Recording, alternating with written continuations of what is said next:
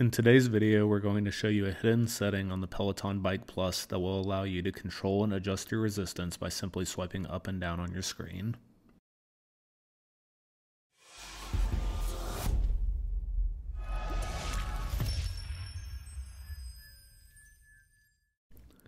First, we have to enable developer mode on our bike. To begin, tap the settings button at the top right of your screen. Next, click device settings in the drop-down menu that appears. You'll then want to click into System, followed by About Tablet. On the new page that you see, scroll all the way to the bottom where you see Build Number. Tap on that line seven times and Developer Mode will be turned on. When you go back to the previous page, you'll now see a new Developer Options menu. Once you enter Developer Options, you should see a menu item for gestures.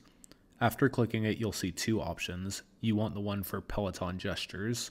The new screen has a single option called Enable in-class gestures. Turn this option on. Once this is done, you can click the Peloton logo at the bottom of the page to return to the main screen. Now, with this new setting turned on, when you are doing a workout, swiping up or down with two or more fingers on the screen will adjust your resistance in increments of 5. Swiping up on the screen causes the resistance to increase by 5 points. Swiping down on the screen causes the resistance to drop by 5 points from wherever you are. You can swipe pretty much anywhere on the screen to control the resistance as long as you are using two fingers.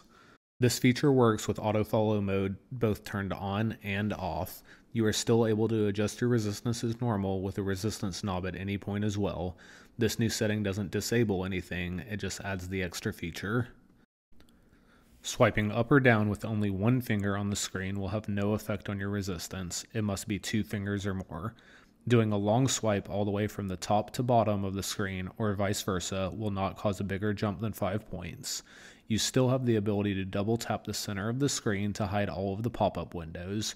Even with all the windows hidden, the swipe method still works to adjust your resistance. Just because this new resistance control option is available doesn't mean it will be used by that many people. It's normally easy enough to turn the resistance knob by hand, and with the Bike Plus, some people will be using the auto follow resistance feature.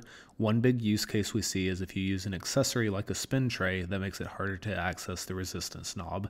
You are still limited to changes of plus or minus 5 resistance points through the screen though. However, it's nice to have the extra option now for people who would like to use it.